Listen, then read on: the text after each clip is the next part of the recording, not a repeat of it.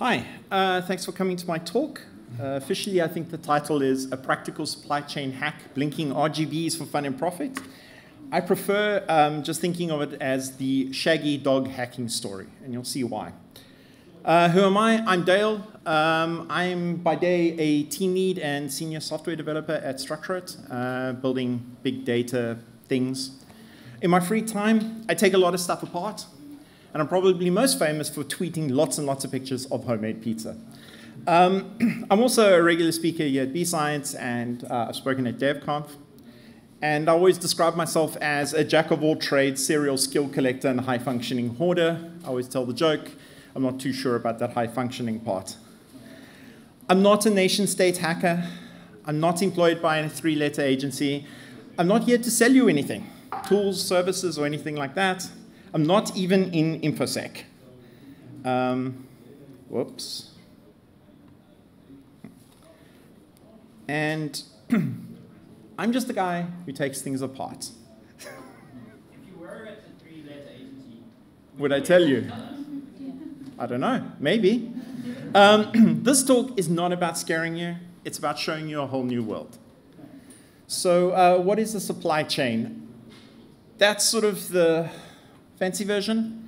But basically, you can think of it as the process that uh, is required to take something from a manufacturer to an end person.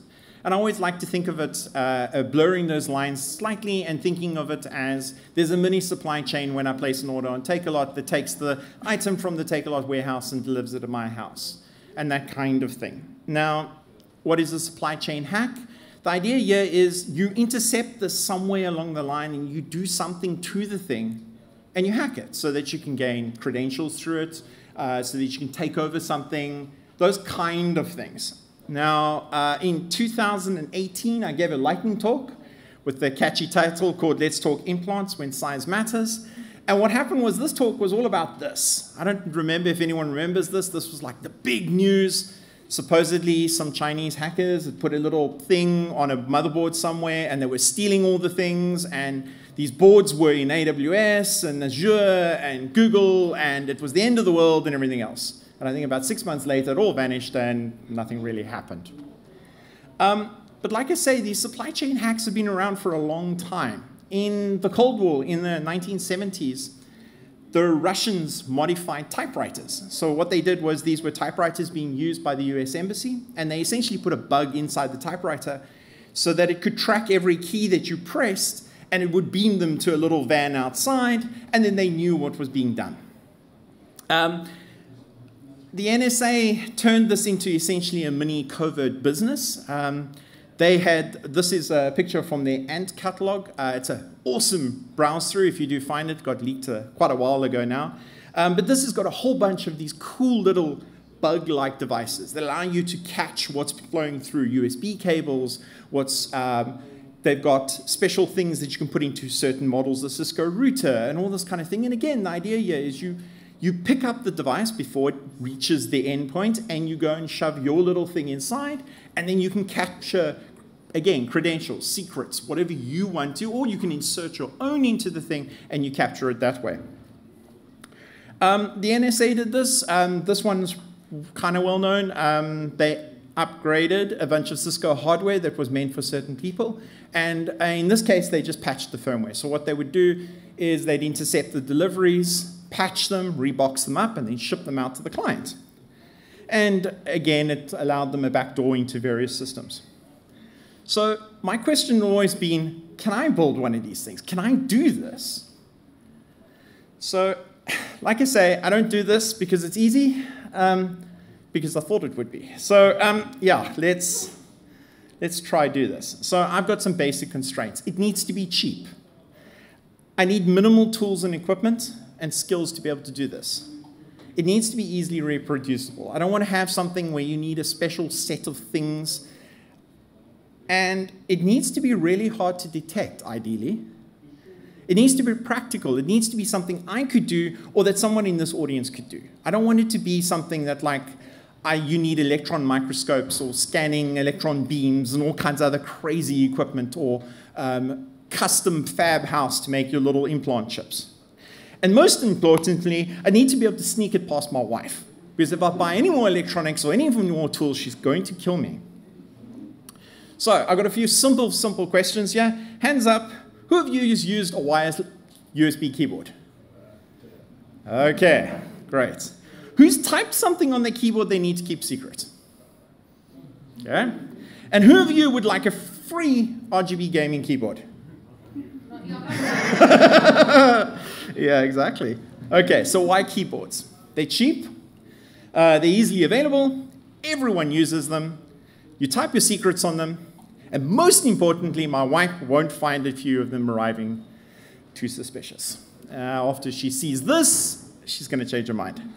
So this is how a modern keyboard works. Okay, I know I've simplified it a lot, but basically it's got a bunch of switches. And those switches are hooked up to a little chip. And that little chip's also normally hooked up to a bunch of blinky lights. And then the USB is hooked up to that. And all this chip does is it scans through these things, works out which buttons have been pushed, translates that into USB HID commands, uh, which is called, uh, stands for USB, what, Human Interface Device, I think it is and then sends those across out the USB. So when you push a button on your keyboard, all you're doing is closing a switch. And like I said, the little chip does all this translating. Now, in the old days, long time ago, 20, 30 years ago, those chips had no software on them. They were hard coded, they were built, they were shipped like that, and you couldn't change what's on them. The thing is, nowadays, that's expensive, and it's cheap to have microcontrollers that can run code. It's cheaper to do that than custom electronics. The other thing is people want features. People want blinking lights. You want gaming macros that you can program onto your keyboard. You want all those nice new features. And so it's gotten cheaper just to put a random chip into one of these keyboards and ship it out. So here's my plan. I'm going to change the firmware on the chip. I'm then going to put that chip back into the keyboard. I'm then going to ship that keyboard to some unsuspecting person, perhaps someone who attends my talk, and then something's going to happen and I'm going to make money. This is a brilliant idea, don't you think? Yeah, I mean, how hard could it be? Like I say, every one of my talks probably has the slide in it. So now we get to part two, and this is why I've called it the, the Shaggy Dog story. Most of the time, I always think that all my projects, all my talks go A to B. It's a simple, straight line. I come up with the idea, and it works. In reality, it looks more like that. And as you see, we didn't come out at B, we came out at X, which is just slightly adjacent. So this whole talk got started because of this keyboard. It's the Foxray Kronos keyboard. It's about 200 and something rand at the time on Takealot. I bought it because I wanted to try out one of these smaller keyboards. And it's okay. I don't know much about keyboards. It goes clicky clicky when I type. And I liked it. It just had one problem. The keyboard mapping is stupid. So if you want to use the arrow keys, you have to press multiple keys multiple times to put it into arrow key mode, and then you can't get it out. And it gets really frustrating trying to use this thing. So I thought, well, I'll do what I normally do. I'll open it up, and I'll see if I can change that. So I took this thing apart, and I do this for pretty much all the electronics I buy nowadays. I take things they arrive at my house, I test them out, and the next thing I do is I open them up and take photos inside. Just so that I have a record and I start Googling it. So this is the processor on this particular keyboard. Um, I say it appears to be made by this mysterious company called ShineTech. I can't find anything about this thing. I can find that out about this other chip, which is also made by them and carries a similar name, but everything about this chip's a mystery. Um, and there's a bunch of other people who are also looking for it. And every time I've tweeted and asked about this chip, everyone refers me back to that same data sheet. I think I've now got like 40 people told me about that same lonesome sheet. And yes, for those of you who want to use the AI tools, ChatGPT doesn't seem to understand this either and doesn't can't find me a data sheet. What's worse is I can't find a software update from Foxray. So part of the other way you can do this is you can get the software update and you can reverse engineer the software update and you can build your own thing and maybe figure out the architecture and things like that and you can go that way to building it. But like I say, no one seems to release one for this. If you happen to ever come across any software for this particular keyboard, in particular one that does a firmware update, please let me know. I've got a few keyboards now with this chipset. Um, I won't give you an exact number of how many keyboards because my wife's going to look at this talk.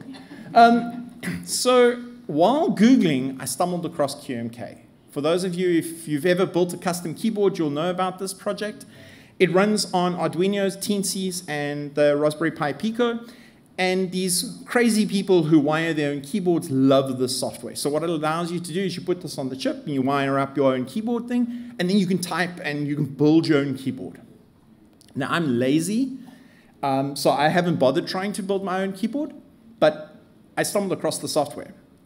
In Googling, I also found this. Now, this is a port of QMK to the Sonix microcontroller, in particular the Sonix SN32 microcontroller, which is an ARM Cortex M0. It's a seriously powerful chip for what it's doing. Um, it's got plenty of storage and everything else.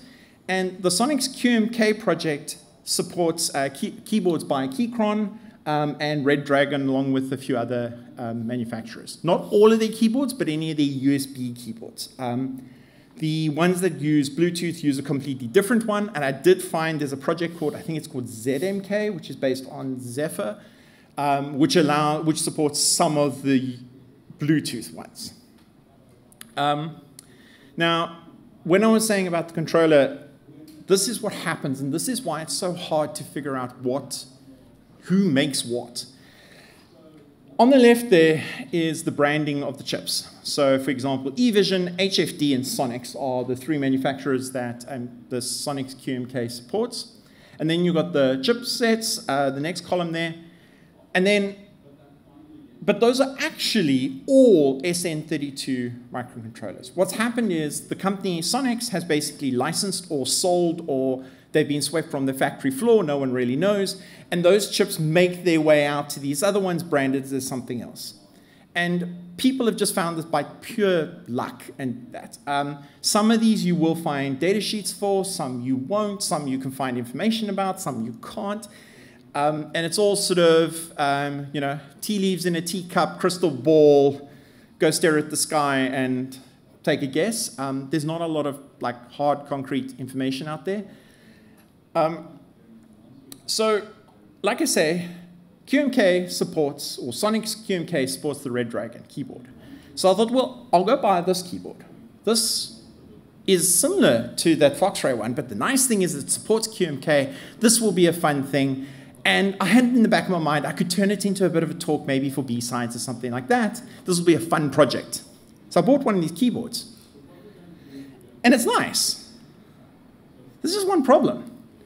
So it uses the Vision VS11K28A, which it turns out isn't supported by Sonix QMK. And the only reason I discovered that is, you see the W at the end there? Yeah, this is a new model. So what happened was, to cut costs, they put a different chip in this thing, and so now it's all different. And there's no data sheets for this VSK11. So now what? So like I say, I, different keyboard, I can't make that happen. All I can find online is hints that this chip is an 8051 based chip, but that's about it. And there's no software updates available for the Red Dragon K630W. There is for the K630, but that's the old model of the keyboard, not the new one. That's okay. I, am good at Google, so I found this file. This is a software update for a totally different model of Red Dragon keyboard, but it happens to use the same chipset. So I took that, and I thought, well, I'll, I'll run it. What could go wrong? So I ran it on my machine with the keyboard plugged in stupidly, and guess what it did? It immediately put the keyboard into bootloader mode. And I can't get it out of bootloader mode because the software is different. And if I unplug the keyboard and plug it back in, it remembers it's in bootloader mode. So now I have a 300 and something rand keyboard that I've already opened and taken apart and put back together, stuck in bootloader mode. I don't think Takealot's going to want to take it back, especially not after I've spoken about yet. So, okay, but when I plug it in, it shows up now as this micro dear CH555, and it no longer mentions eVision. Okay, well, let's Google that. So WCH is a company, they manufacture chips, and they're probably best known if you mess around with Arduino and things like that. They're best known for the CH343G, which is this USB to serial translate uh, serial converter. Um, WCH have a whole range of these microcontrollers that they sell. Some are based on RISC-V, some are ARM Cortex-M microcontrollers. And unfortunately, the one that I have, the CH555, is none of those. It's a 8051, or precisely it's an enhanced 8051, which means they threw a few extra instructions in and it runs a little bit faster. But otherwise, it's based on tech from sort of the 80s. Um, it's not listed anywhere on their site, but in theory, from what I've found, it is supported by SDCC, which is an open source compiler for a C compiler. So in theory, I could write software for this thing. So this is now sort of where I'm sitting. Is okay. So what's next? Well, it's simple. I'll reverse engineer the software update, um, and then I'll figure out the protocol to program the keyboard. Then I'll find and set up the build environment, and then I'll reverse engineer the keyboard wiring, and I'll write some new firmware. That's my plan. Problem is, I had to speak yeah, because I had already submitted the talk, and I didn't have a lot of time. And I do own a flux capacitor. I have a box broken ones. Unfortunately, some idiot went and put, wrote BASIC to run on these things, so um, they don't work properly. Okay, so what do you do when you need to now have a talk and you don't have enough time? Well, it's simple. You pivot your talk. Now, like I say, I am a high functioning hoarder. I have lots and lots of junk. And like all of us, I have boxes of these things. So if I went and rummaged around my boxes and I found this, the Marvo K6901. Now I bought this keyboard for 59 Rand. I was actually chatting to Stephen. I see it's actually 49, not 59. At Cash Converters about three years ago. I have no idea why I bought it. I say for reasons. I bought it because there was a mechanical keyboard and it looked like it could be useful at some point and it was cheap, so it came home with me. It's been in that cupboard for a while, um, but, uh, but I did my usual thing. I'd taken it apart and I'd taken photos of the inside, so I knew more or less what was in it. And the good thing is, it's got a Vision K VS11K15A, which is based on the Sonix 32F268 ARM Cortex M0 board, which is supported by Sonix QMK. Okay, so now I can use the Sonix um, bootloader app that comes Flasher app, and I can put the keyboard into bootloader mode. I can then upload a specific bootloader. So what happens is they've written their own bootloaders for these chips because the ones that got shipped with the chips are very, very dodgy, and so they recommend you use their one. I did have to do a bit of messing about, and I will share all the code, but I had to change things because their app doesn't support this keyboard. Um, but I've managed to do that, and I managed to get a bootloader onto it, which is great. Then I spent many, many hours listening to sea shanties with my multimeter, carefully figuring out which wires connect to which puts. So this is one of the most important things you have to do when you're trying to reverse engineer these keyboards is you have to figure out which switch goes to where, and you build this whole matrix of all these things. And once you got that, you can convert that over into code. So, okay. Now what? So once I'd done this, I built my firmware, and I now have firmware working on this device. But that's kind of boring, right? So what I did then was I thought, well, what about this idea? What happens if I ship you a keyboard with a keylogger in it, and I log every single keystroke you press? Now, normally this would be hard to do, but I've got a keyboard, and you're going to type stuff on it, so all I need to do is log it. So the cool thing is Sonix QMK is really, really easy to add stuff to. So what I did here is on every key press, I take the key that you've pressed and I write it to a variable in memory. And that's it. And then, when you press a magic key string, I dump all those keys back out the, the thing. So now what happens is it means that you can type a message on your keyboard, and I can say, turn up a little CAPTCHA thing, and I can say, please type magic string here, and I can then send all the keys that you've pressed back through that little window and send it off to my website. And you won't know this has happened other than the fact that I've typed all the keys. But if you're not looking, you don't see this. And remember, I made no hardware modifications to this keyboard. All I've done is replace the firmware on it. That's it. Now, in theory, I could have done this to my Red Dragon keyboard as well, but I just don't have time to do it. But as long as you've got the data sheets, you could do this to most USB keyboards. And there's no way to find out that it's been done because none of the software, there's no keys, there's no protection, there's no digital signing of this firmware, there's nothing. You don't, like, no one even publishes any of this information. So you wouldn't know if the keyboard you have right now has a built-in keylogger. There's no way to tell. So, okay, let's try and do this live. Now, please, those of you, if we can make some sacrifices to the demo gods, let's see if this works. Um, okay. So, I'm going to take my little trusty keyboard here. I'm sorry, I'm going to have to do this sideways, but uh, Hello world. Okay, there we go. I've typed something. So now we put in my magic key code. Um, up, up, down, down, left, right, left, right, A, B. Oh no.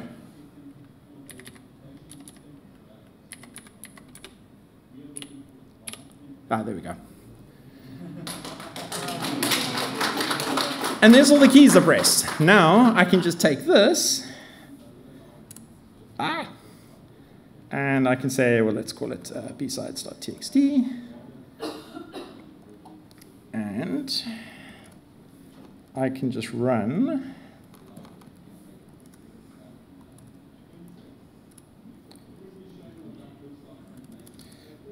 uh,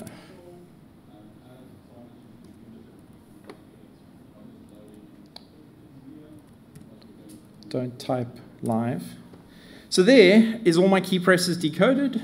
As you can see, this is space, uh, space, test, hello world, and it's even decoded my magic key string. And there we go. So, like I say, um, that's it. Can this be improved? So at the moment, I'm only logging 100 keys. The problem is I have limited storage space on a keyboard, or on this particular keyboard.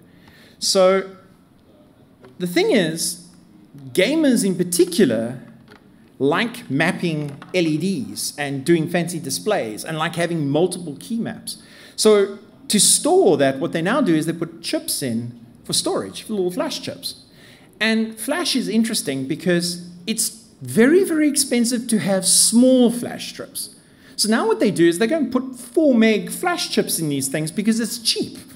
Now, 4 meg is a lot of characters you could log to, and you could write to those from the controller. So in theory, I could log everything to non-volatile flash storage and leave it on there. So even if I can't convince you to type my magic key in to get all your secrets, I could just come and borrow your keyboard or steal it or have someone else steal it or ask for it to come back for, I don't know, security reasons or something like that. And hey, presto. So how do you uh, protect yourself from this kind of thing? Well, it's simple. You go and stick hot glue in all your USB ports. Um, no, seriously. Well, you say that. So the interesting thing is, um, IBM ThinkPads or Lenovo ThinkPads also use a Sonix SN32 or SN8, depending on the model of keyboard, as their keyboard controller for the laptop keyboard. So in theory, you could reprogram that inside of your laptop and still do all the key logging. And yeah, good luck getting that replaced easily. And so, like I said, this is a it's a sort of a complicated one. How do you you can't secure yourself against this? It's going to be an auditing nightmare. So please don't go and tell your compliance people that this thing's possible, because I don't want to have to explain to some poor guy, you know, uh, look, yes, it's possible, but you know, only worry about the nation states. Don't worry, you know, no one's going to do this for our information. But yeah, so that's it. That's my talk. Um, you can find me on, well, what was Twitter at Dale underscore nuns. You can find me on LinkedIn or on um, Mastodon. Uh, all of this will eventually land up getting written up on my website, xor.co.za. Um, the slides will be there as well. I will release my uh, fork of QMK Sonics with all the key logging. Um, if you guys want to play with it, just don't call me when you break your keyboards.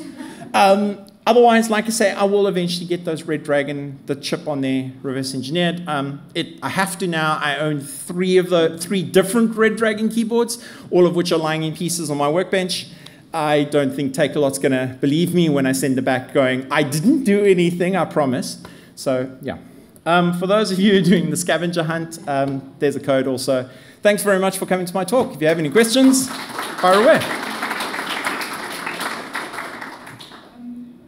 two questions. I think the, the first one is, is it possible if you have a keyboard to just dump the firmware to at least look at it? So yes, some of them you can. Um, I haven't, so uh, the Sonics ones, yes, because they support SWD.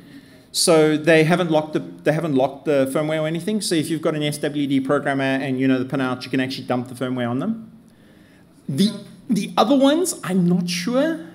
The the WCH ones use some weird wacky programmer that I don't have. Um, so I don't know how dumpable they are. But uh, yes, so the ARM-based ones is relatively easy. Assuming they haven't locked it, you just need an SWD programmer, figure out the pinout, and you can dump them and then you can reverse engineer. And it's it's ARM code, so it's relatively easy to to reverse engineer. Um, it becomes problematic when it's like 8051s or some obscure thing that no one's heard of. Um, and that, that's the frustrating part about doing this is a lot of times it actually probably is an ARM or something nice, but you can't find anything. All I can find is you know some sort of gibberish thing on some random site where they happen to mention it, and you're sort of looking there going, squinting, going, that might be ARM. I don't know. And that's all I know about it. So, uh, yeah, it's, like I say, tea leaves seem to be the way you figure this stuff out. Any other questions? Another quick one. Um, have you looked at like uh, the possibility of um, exfiltrating the data with the LEDs? Yes. So I know my talk title promised blinking of LEDs. Um, because of time constraints, um, I didn't get the LEDs blinking on this one. So currently none of the LEDs work. But in theory, and I played with it on other devices, is because you, you, can toggle all the LEDs and stuff like that. Um, some keyboards have speakers in them now. This is supposedly a thing. Um, so you could probably um, send it via audio out as well. Um, also, the interesting thing is, um, you can send other commands. So there's people who, on certain custom keyboards, they've implemented uh, MIDI over the USB so you can play musical instruments and stuff. So you literally just put in a key combination and switches your keyboard into MIDI mode, and now it's a, a you know music and stuff like that. Um, you can do anything. So there's people who've written mouse control software, so you can control uh, you can control your cursor and pretend to be a mouse from your keyboard. It doesn't do it through Windows or whatever. This something I didn't mention is this hack will work on a Windows machine, a Linux machine, Mac OS, you name it, anything that supports the USB HID protocol, technically I can catch all the key presses as long as you're typing in on my keyboard. Um, and so like you could write something that just catch the stuff in between. Uh, I was looking originally at implementing as much of the stuff that the little USB rubber duckies do. I was looking to see could I port all of that onto these. And in theory, you could. Like I said, it's time constraints. It's, but you could basically turn a full keyboard that is physically unmodified into a USB rubber ducky if you wanted to. Um, and that's why I say like it, it, starts getting a bit interesting then because you can do all kinds of cool things like this. No one can no, no one's going to notice. I mean, you can pass it through an X-ray machine; it doesn't show up.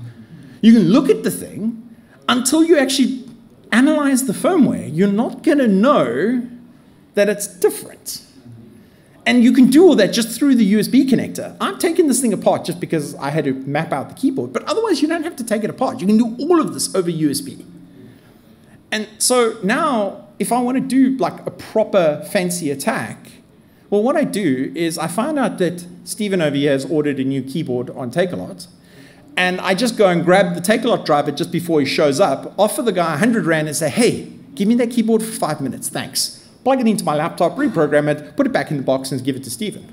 As long as I've been reasonably, got reasonably good papercraft skills and you don't notice that I've, you're not gonna know.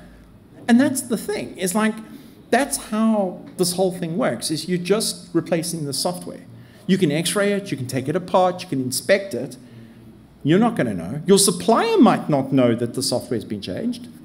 So, you know, you, you just have to catch it somewhere in the pipeline of landing up at the customer and you swap the software. So maybe just a fun idea for export at a later stage, but USB devices, like you said, you can do a mouse, MIDI, it's all different endpoints. So you could set up the network endpoint, DHCP, and then just export over the internet and then make it disappear. Yes. Yes. But I think that gets done on the one, rubber duckies. One of those things do that, something like that already. One of those devices do it. I've seen it. Yeah. Um, just checked the System 76 and um, Framework laptops um, both use QMK for the keyboards. Yeah. Yeah, Yeah. laptops very vulnerable. Yeah. some of them. Yeah. And like I said, QMK, I- I just used it because I don't have to code. Yeah. Like, I, I literally added two little bits and I can log all the keys. Yeah. Um, there's actually people who do this. Um, so I didn't know that like um, typing speed is competitive and people are like big into this thing. So what a lot of people do is they log every key press so that they can build these things that show which keys are being like a heat map, which key is being pushed the most. And then based on that, they can rebuild the keyboard so that they um, increase their typing speeds. Um, that, like, this is the problem. Is like there's a whole rabbit hole of things. This is why my talk isn't as fancy as I would have liked, because you start googling these things and then you get into this rabbit hole of, like I say, YouTube videos. I've watched way too many things about people making custom keyboards now. And I've read way too many articles about like custom keyboard building and stuff like that. I'm never going to build a custom keyboard, but I have logged many, many hours of careful study of them uh, and that. I still have no idea what the difference between a blue and a red and a green and a purple switch are. Um, they all just go clicky clicky as far as I can tell, but that's it. Cool.